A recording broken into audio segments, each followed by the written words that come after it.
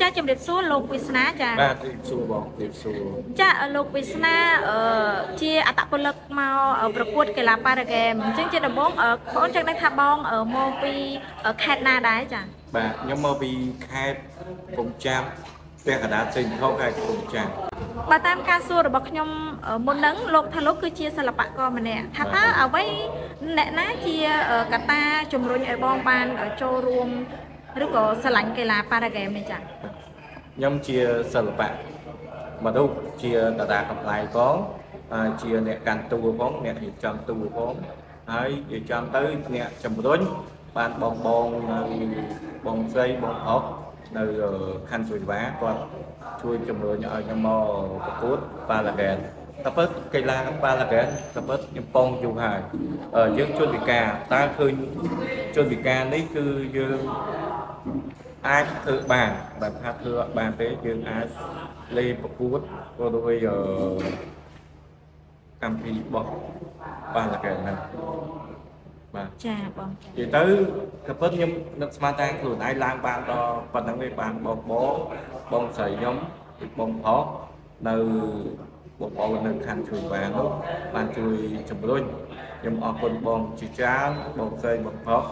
ហើយបានជួយខ្ញុំជំរុញបងឡើងមកពេលនេះពេលនេះអឺយើងបានប្រកួតអឺតាំងទី1ហើយ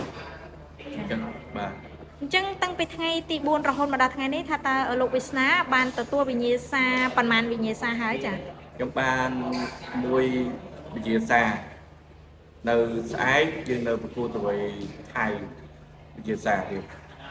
ចាបាទតែព្រឹកនេះអឺលោកបានអឺប្រកួតជាមួយនឹងកម្ពុជានិងកម្ពុជា ថាតើលទ្ធផលយ៉ាងណាដែរហើយចាអឺព្រឹកនេះយើងប្រកួតជាមួយកម្ពុជាយើងយើងអាចប្រកួតបានឈ្នះហើយក៏ប៉ុន្តែសង្ឃឹមថាដំបូងសង្ឃឹមថាអត់ឈ្នះហើយសង្ឃឹមថាចាញ់ហ៎ពេលនឹកស្មានថាខ្លួនឯងបានឈ្នះប៉ុណ្ណឹងសោះ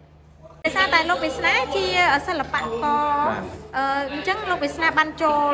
បម្រើការងារជាសិល្បករហ្នឹងតាំងពីឆ្នាំណាដែរចាអឺសិល្បករតាំងពីខ្ញុំ96បាទចាបាទអឺក្រៅពីអឺតួសម្ដែងថាតើអឺលោកមានតួនាទីអ្វីនៅក្នុងអឺសិល្បៈនឹងបន្ថែមទៀតគឺជាសិល្បៈមនុស្សខ្ញុំជាកាន់តួបាទអ្នករៀបចំតួ ហើយយើងនឹងចាត់ចែងនៅកម្មវិធីទូទៅបាទអឺរហូតមកដល់ពេលនេះតាំងពីលោកបានអឺចូលរួមជាសិល្បករខ្ញុំបើតាមមុនហ្នឹងខ្ញុំបានជជែកជាមួយលោកលោកថាលោកជាតួសម្ដែងដែរថាតើដែរអឺបានអឺរឿងណាដែលលោកអឺពេញចិត្តនឹងការសម្ដែងរបស់ខ្លួនដែរហើយក៏ដូចជារឿងអ្វីដែលលោកអឺអឺដាក់ក្នុងចិត្តជាងគេចា វាដាក់ចិត្តរឿងច្រើនជាងគេវាច្រើនយូរពេករឿងខ្លះយើងថតជាក្មេងណាថាផងជាក្មេងសំទៀនផងហើយយើងកាប់ពិតយើងធ្វើដើម្បីអឺ user គេអ្នកប្រាប់ទេ user ថាឥឡូវស្នែកអាចសំដែងតួអ្នកសំទៀនកើតអត់ជាក្មេងអនាថាកើតអត់អញ្ចឹងយើងអាច ធ្វើបាន ដើម្បីឲ្យបងប្អូនយើងគ្រប់គ្រងមើលសមត្ថភាពយើងសំដែងចាបងចាអឺអញ្ចឹងសម្រាប់អាជីពនៅក្នុងសិល្បៈនឹងដែរថាតើអឺអ្វីជាផលលំបាករបស់បងការពិបាកគឺលេងប្រូការពិបាកពេលយប់ពេលយើងសំដែងទៅវាមិនពិបាកបានទេពិបាកវាពិបាកហើយពេលយើងតស៊ូ តាមប្រឹងខ្លួនឯងដើម្បីឲ្យខ្មែរយើងមើលលោកជាសិល្បករមួយរូបហើយអឺក៏ជាអត្តពលិកអាស៊ានប៉ារ៉ាហ្គេមដែរបាទតើលោកចែកពេលវេលាបែបណា ក្នុងការហាត់រៀនក៏ដូចជាការធ្វើបំពេញការងារសប្តាហ៍ចា៎អឺការហាត់រៀនយើងហាត់រៀនមួយថ្ងៃយើងហាត់រៀន2ថ្ងៃទៅថ្ងៃណាយើងទៅថតទៅ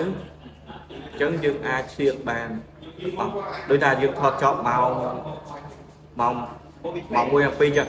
ម៉ោង3ម៉ោង4យើងអាចមកហាត់បានទៀតយើងយើងឆ្លៀតអ្វីមួយយើងចោលបានទេបានឡើយយើងត្រូវហាត់ហាត់ដើម្បីយើងត្រូវប្រកួតអឺមួយដៃគូយើង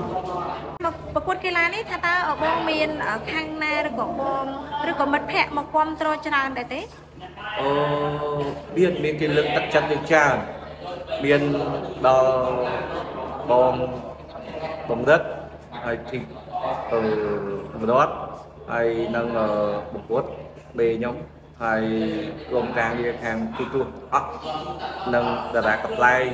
តោះគ្នាក៏លើកទឹកចិត្តដែរហើយដល់អរគុណបងរោបងរោ បានជួយលើកទឹកចិត្តដែរហើយអរគុណបងប្អូនកូនចៅទាំងអស់បានជួយលើកទឹកចិត្តខ្ញុំដែរសន្សំរយៈពេលខ្លីត្រឹម6ខែលោកអ្នកនឹងទទួលបាននូវអត្រាការប្រាក់រហូតដល់7%ក្នុងមួយឆ្នាំជាមួយគណនីសន្សំរយៈពេលវែងរបស់ AMK